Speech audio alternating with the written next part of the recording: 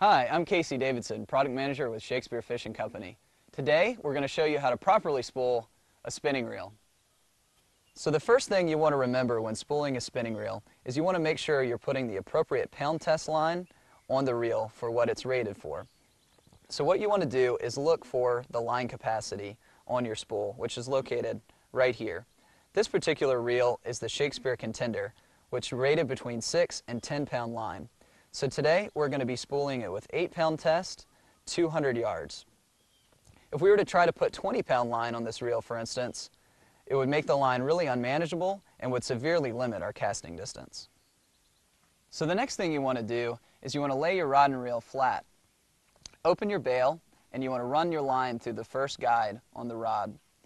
And what I'm going to do is I'm going to show you the knot we use to attach the line to the reel. And again, I'm using this yellow line to demonstrate. So the first thing you want to do is tie a regular overhand knot right in the end of your line, like so.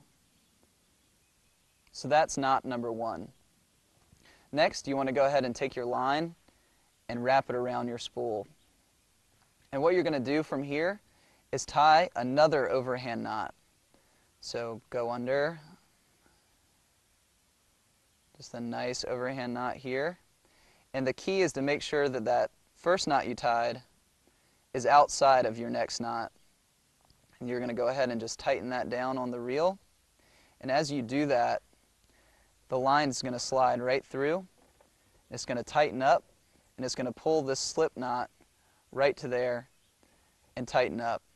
Then you're going to come back and clip your tag in. All right, now that we've got our line tied to our reel, the first thing I want to do is go ahead and set the spool down on a flat surface and make sure that that line is coming off in the direction that we talked about earlier. Want to go ahead and flip your bail over.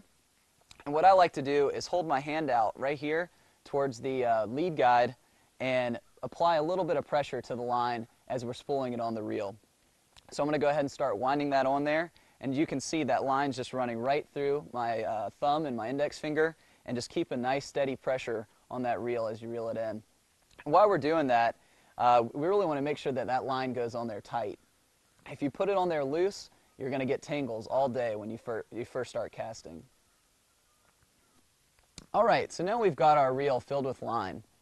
And just a little rule of thumb, I like to make sure that there's an eighth of an inch to a sixteenth of an inch gap right between the top of the spool and the line. That's going to allow you to make sure it's not underspooled or overspooled. So we're going to go ahead and clip our line.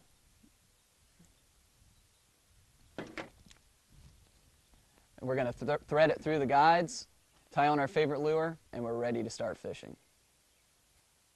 Okay, now that you're all spooled up, you've threaded your line through the guides, all you got to do is tie on your favorite lure and you're ready to go fishing. Thank you guys for watching our video today. I hope you enjoyed it. You can check us out on Facebook or visit us on our website at shakespeare-fishing.com.